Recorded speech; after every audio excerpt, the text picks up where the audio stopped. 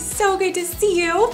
So happy you're here today, and I'm really excited because we are having kind of a special, unique Sunday where we're getting to do something a little different than we usually do. So I'm glad you're here. Good thing you're coming today. Um, all right, well, we are gonna worship. We are gonna worship with Father Trevor. Um, I never even knew he could lead worship until we started making these videos. So I'm so happy. So take it away, Father Trevor. Well, good morning, boys and girls. This is Father Trevor, and I am so glad to be able to worship with you today. And this morning, I want you to stand up and let us sing our praises to God because He gives us many reasons to rejoice. So we're going to sing, This is the Day. This is the day, this is the day that the Lord has made, that the Lord has made.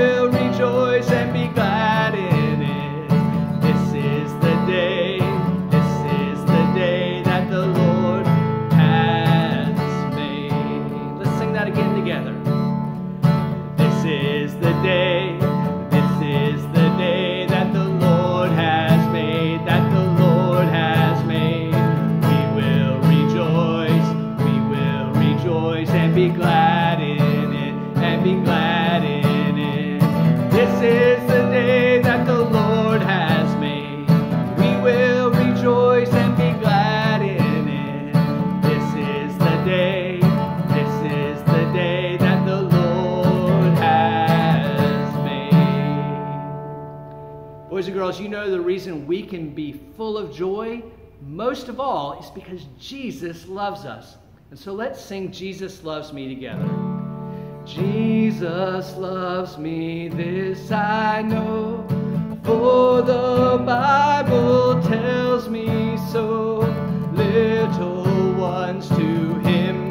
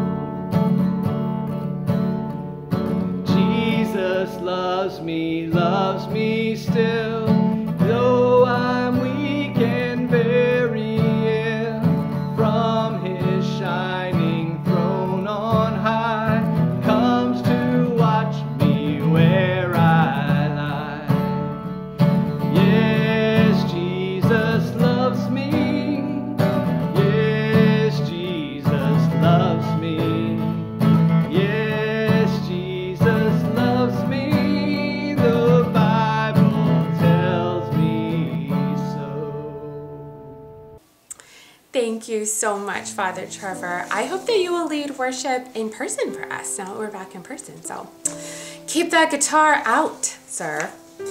All right, well, we are going to do our liturgy together now. So let's get ready to say these wonderful prayers.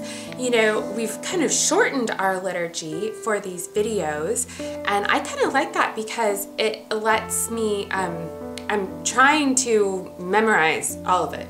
It's not working very well so far, but um, I I know that I've um, talked with some of you kiddos and that you've really memorized this liturgy. So you're doing better than me. So I gotta keep up with you. I always still have to read it. I don't know. Maybe I just get nervous or something. But anyway, let's do our liturgy together. We'll try and memorize it.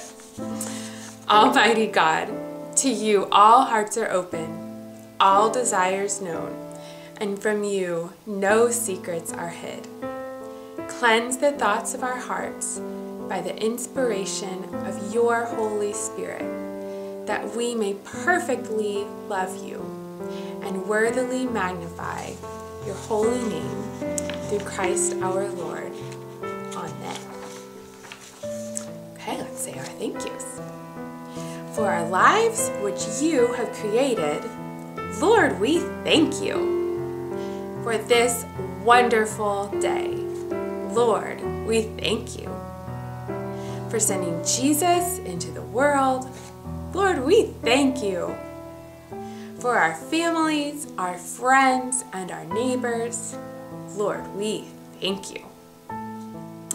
For health and for loving care, Lord, we thank you. Help us to love other people this day and every day. Okay, let's pray the Lord's Prayer. Our Father, who art in heaven, hallowed be thy name.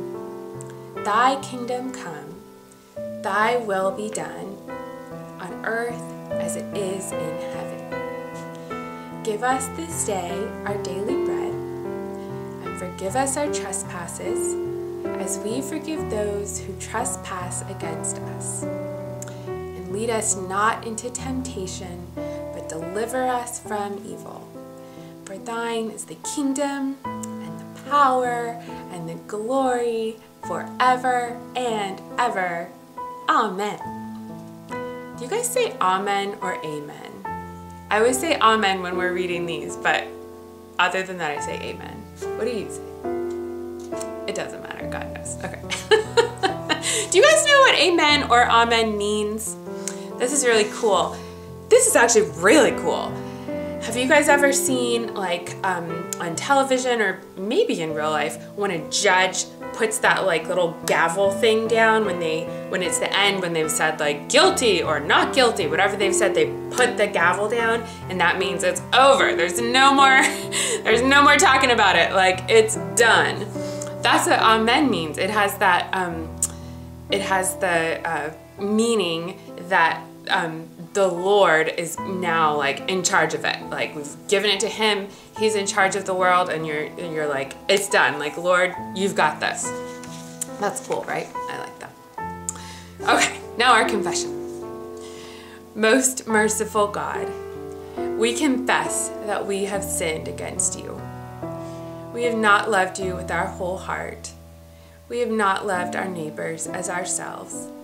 We are truly sorry and we repent. For the sake of your Son, Jesus Christ, have mercy on us and forgive us. Amen. Great job.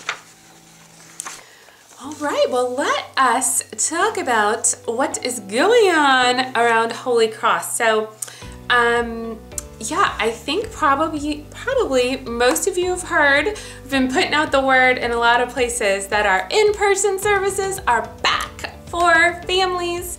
Um, I have just been just overwhelmed with how happy I am to see you guys and how happy you guys are to see each other. It has been just really sweet at our family service last week. Everybody just kept clapping. Like at the end of the worship, everyone clapped. At the end of the birthdays, everyone was clapping. There's a lot of clapping. We were just so happy to see each other.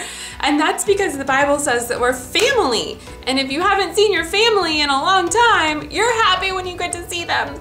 So, um, our in-person services are just back on. They're at a new time for families. They're at 1045. Um, that allows us to clean um, before you come in there and it also allows um, some of the older members of our congregation to be in the space first. So it's kind of like the grocery store. But I've also heard from a lot of families that 1045 is working really well for you. Um, it gives you a little more time to get ready in the morning and you're done right around lunchtime. You can go get some queso or whatever. So um, yes, join us at 1045. If your family is not ready to go out in person, that is no problem. We are still going to have these online services definitely through Christmas. So, um, so just sit back and drink your coffee and your jammies and worship online. So um, those are our services. Um, you probably also know that we're doing these rice bowls. So you can come get a rice bowl at any of our services. We'll have those um, for all the weeks to come and we will be doing our bowl smash bash sometime before Christmas. So that's when we collect all the donations out of the bowls. Um, we haven't set that date yet. Um, I'm just trying to look at a few things, but we'll be collecting it before Christmas. So fill up those bowls. Um, I got a giant box of purple candles. I have like a bunch of these boxes in my office. Why do I have a bunch of purple candles in my office? Because Advent is coming up. What? Oh my gosh, this year it's been like the slowest year and the fastest year. In this sense, it seems like it's the fastest year because we're already planning the Advent workshop, y'all. So, our Advent wreath making workshop will happen just like it always does because we always have it outside. So, it's the perfect COVID event. Um, we will have it outside at both of our campuses on Sunday, November 29th. That is um, the first Sunday of Advent. It's crazy. It's right around the corner. And um, we'll just have individual, we'll have a few changes for COVID. Everybody will just get their own kit with the branches already in it, and we won't share supplies or anything. So you'll get everything you need in your bag, but we can all kind of make them outside together. Um, so all you do is show up at that. You don't need to register. You can either bring your own wreath and from years past and just buy the kit with just the candles and the decorations. Or if you don't have a wreath, you can buy the full kit with the wreath. This is a great thing to invite friends to. Um, some people maybe have never celebrated Advent before, or maybe their church doesn't do Advent with the wreath and it's fun. Um, or maybe you could make a wreath and bring it to a neighbor who is stuck inside. I've heard lots of sweet stories about how people reach out with this event. So be thinking and praying about who you might bring. And um, finally, we have a holiday coming up. Do you know what holiday that is? It's this Wednesday. Hmm, have you been talking about it at school? What is it? Yes, it's Veterans Day. So, Veterans Day is where we celebrate as a country all the brave men and women who serve in our armed forces. And so that might be the Army, the Navy, the Air Force, or any any of the organizations that help those branches um, or or the Space Force, right? Isn't that the new the new branch?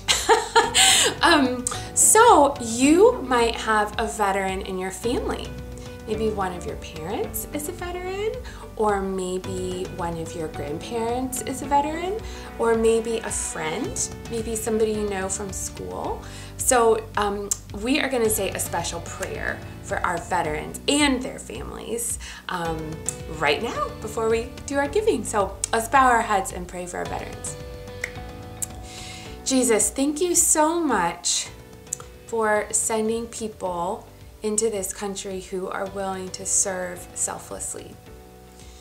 We pray for your blessing over their families right now in the name of Jesus. We pray for protection over them in their bodies, in their minds, in their hearts. We pray for their children as they are serving too in a way by um, just missing their parents oftentimes or going through the stress of that. We pray for their husbands and their wives, their parents, just all the people that love them as they serve. And we pray that um, as they serve, they would know your love for them and that we as a country would love them too. And we pray that we would honor them and that they would um, just feel appreciated for the sacrifices that they've made. We love them, Lord. We thank you that you love them even more. In Jesus' name, amen. So if you know a veteran this Veterans Day, definitely reach out to them and say a prayer over them. You could sing the blessing song over them. I bet they would love that or you could write them a card, send them a picture. Let's um, support our veterans this Wednesday. All right, y'all. Well, Mr. Jake is going to lead us in our doxology, and we'll remember the words of Jesus. He said, It is more blessed to give than to receive. Hey families, let's sing the doxology together.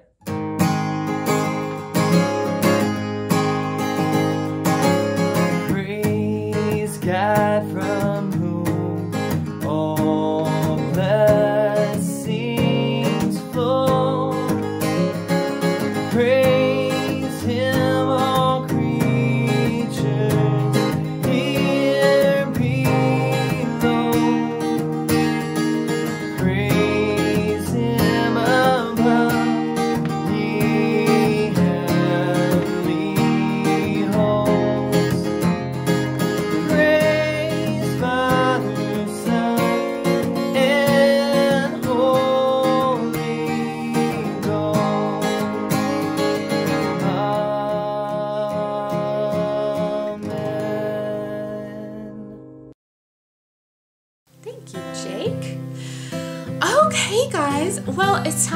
story. And like I said at the beginning, we're doing something a little different today. Um, we are going to put a tiny little pause on the life of Jesus, which actually, y'all, we're almost at the end of the year. We're almost done with talking. Well, we'll never be done talking about the life of Jesus, but in that chronological way that we've done this year, we are almost at the end of our story. So that's crazy to me. Um, I have just loved telling these stories over the year. But for today, we're going to take a pause because today is a special day in the life of the church. Um, it is called Orphan Sunday. So why don't you turn to your family now and say what you think an orphan is?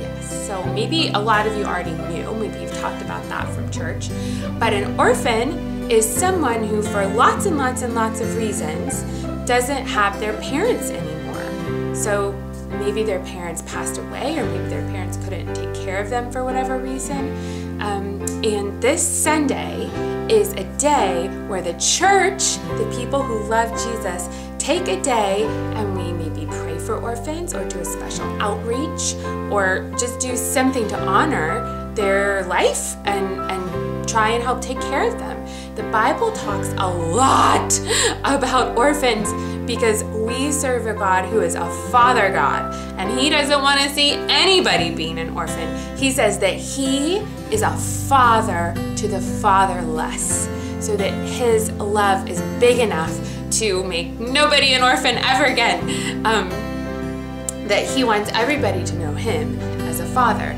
and that um, reaches into our hearts when we are his children, when we are adopted into his family, and makes us as Christians want to help and love orphans. So, can you think of a way? I bet you can. Can you think of a way that we as a church are loving orphans right now? Yep, rice bowls.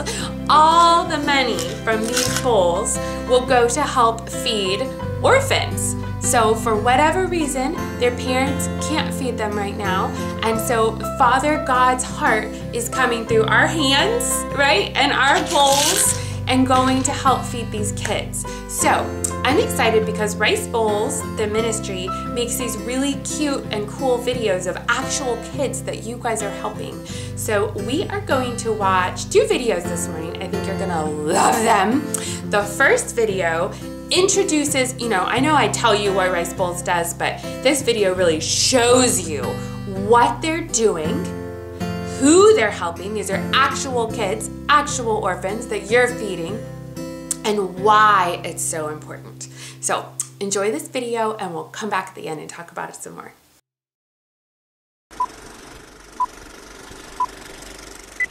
This is Violet and her husband Abraham, and these are the children they call their own. Before Violet and Abraham took them in, many were abandoned, abused, and malnourished, fighting for survival on the streets. Violet saw something special in them. They had so much potential, but if she and her husband didn't help, the children might not make it. So she took them in and loved them like they've never been loved before. And the children began to grow and get stronger. As they grew, so did their appetites. Which created a big problem. To make matters worse, when it rained, raw sewage flooded the rooms where the children slept. They needed to move, but all their money was going towards food. Fortunately, Rice Bowls partners with loving grassroots children's homes around the world to cover 100% of their food budgets. Rice Bowls started over 35 years ago using a plastic piggy bank in the shape of a bowl of rice to fight world hunger. Today, we have even more bite sized opportunities for people like you to partner with children's homes to ensure thousands of orphaned children enjoy delicious, locally sourced meals every single day. By removing the financial burden on these homes, you enable them to focus on loving, teaching, protecting, and providing for the children in their care. Every one of the kids we serve is a hero who has already overcome so much. They have the potential to make a real difference in the world. Let's give them a boost.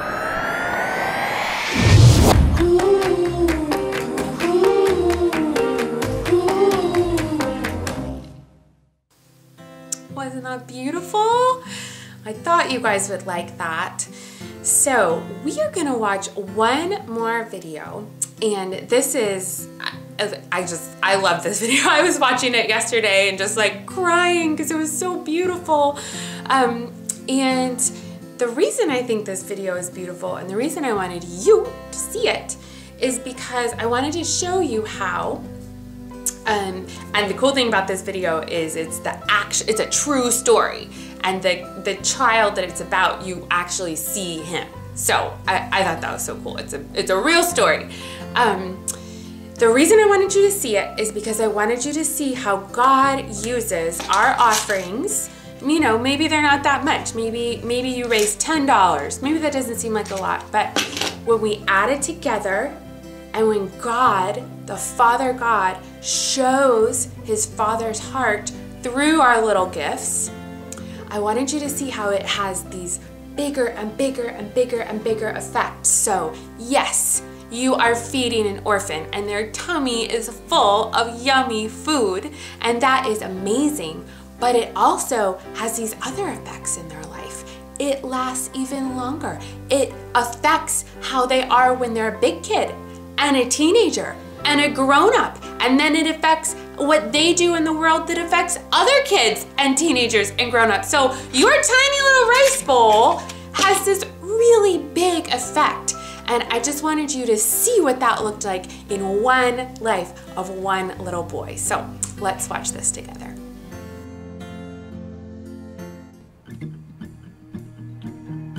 Now that I'm older, I can look back and see the moments that changed my life forever.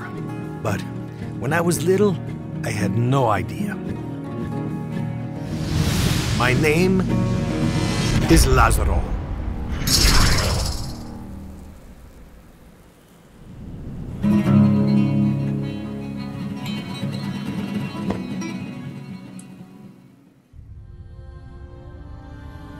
Born in the barrios of Honduras.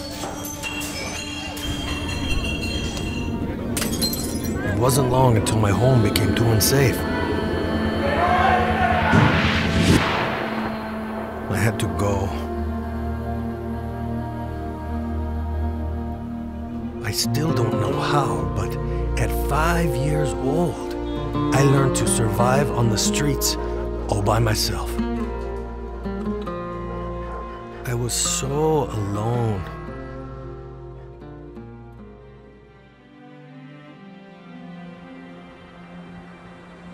Then, one day, a beautiful lady saw me on the streets.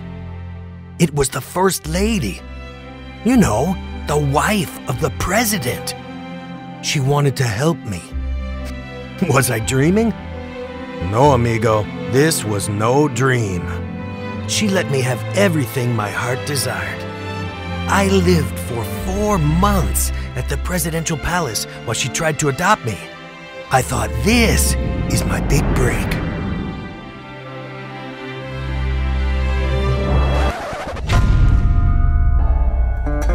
But it didn't work out that way. She knew I had no family to return to, but she had heard about the best children's home in the country. It was far from the city, and that's where I was headed.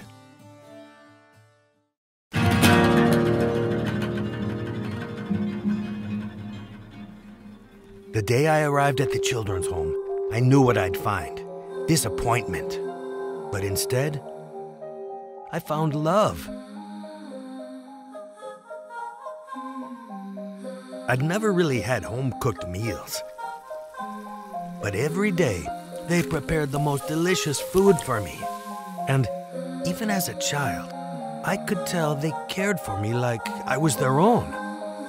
I felt the pain in my heart slowly fading away. Now, not everything I had to do was easy. But they did their best to teach me hard work and responsibility. Eventually, I found some work I really liked the farm. At first, I didn't know what I was doing, but I remember the day one of the farmers looked at me and said, Que bueno. And I knew I was made for this. Fast forward about a decade. I still love the farm.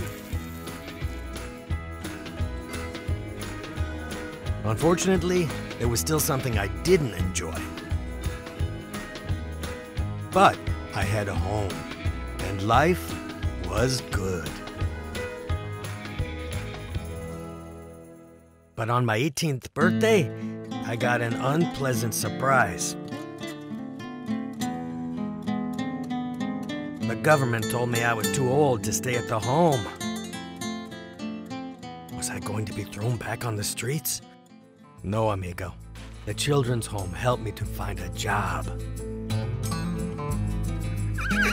I was going to be working with prize winning show horses. But it wasn't the glamorous job I expected. I had to do a lot of unpleasant things. After 18 months of manual labor and seeing my friends pursue their dreams, I realized I wanted to do something more with my life.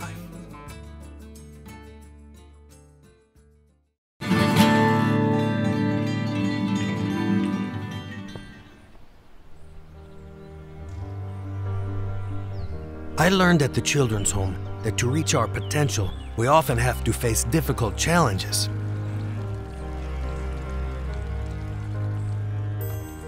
I decided I had to go back to school, and my true family was there for me again.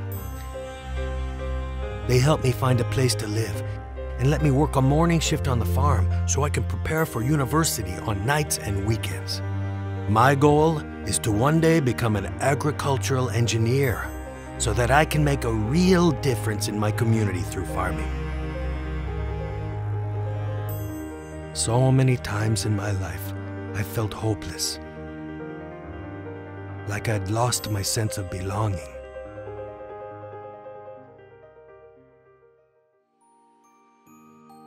And while I know troubles will come again, gracias a Dios, I now know I will always have a home.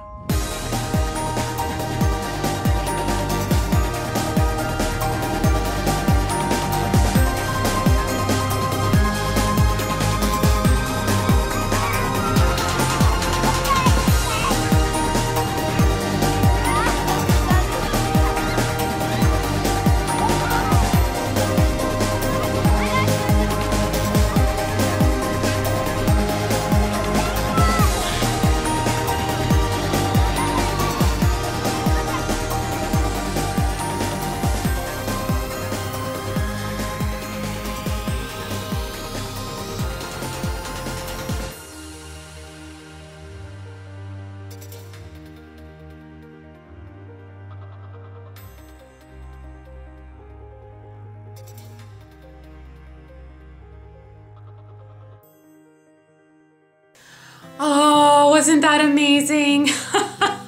Did you guys cry? Oh my goodness, I just think it's just so beautiful and I love that we get to see Lazaro and that um, we get to see what his dreams are and how his dreams are coming true because of Father God's love for him and using these crazy little bowls with all our little bits and pieces of money in it. So I hope that really encouraged you in a couple ways. I hope that it encouraged you to do your rice bowls. Um, and even more, I hope that it encouraged you to know that whenever we give something to the Lord, that um, He can multiply it. Just like in the story about how the little boy shared his lunch with Jesus, his loaves and his fishes, that God's power takes our little teeny offerings. Maybe we feel like we can't do that much in all areas of our life. Maybe as a parent, or as a pastor, or as a wife, or as a child, a student, whatever. Um, maybe we feel like we're not making that big of a difference, but it's not about that. We offer what we can, and then God's love, like, blows it up and makes it bigger than, than we ever could have thought of, right? So I just want to encourage all of us that, especially during this hard time, to give what we've got. Give what we've got. Share our loaves and fishes. Share our 10 bucks in our rice bowl and then watch what God does with that because of his great power and his great love. So, I hope you enjoyed today. I hope that you're all excited to fill up your rice bowls. And we're going to sing our blessing song today over all of the orphans in this world. And remember, the Bible says that just like our our offerings are powerful, our prayers are powerful. It says that the prayers of the righteous, that's us who love Jesus, are powerful that they affect change. So when we are blessing others, like today we're going to bless orphans, that actually means something in the world. It's not just a pretty little song. It actually means something in the world and it makes things better. So let's get singing. We better start blessing if it's so powerful. All right, are you ready? Let's hold up our hands. That means we're blessing anybody who's an orphan, okay? So let's sing it together. May the Lord bless you and keep you and make his face shine on you. May the Lord be gracious with the light of his countenance and bring you peace. Awesome. Give me a high five. Good job. Good blessing. All right, y'all. Well, um, we've got a family discipleship activity on the blog in the chat box. This is really cute. Rice Bowls um, Ministry makes these um, cute little uh, like scripture cards that you can print out and put up around your house um, so that you can be praying for the kids that are going to receive the food from your bowl. So um, that's what that discipleship activity is. You can click on that and print them out. And I will see you next week, either online or in person at 1045 at either of our campuses. So until then, I love you. God loves you way even more. And I will see you soon. Bye.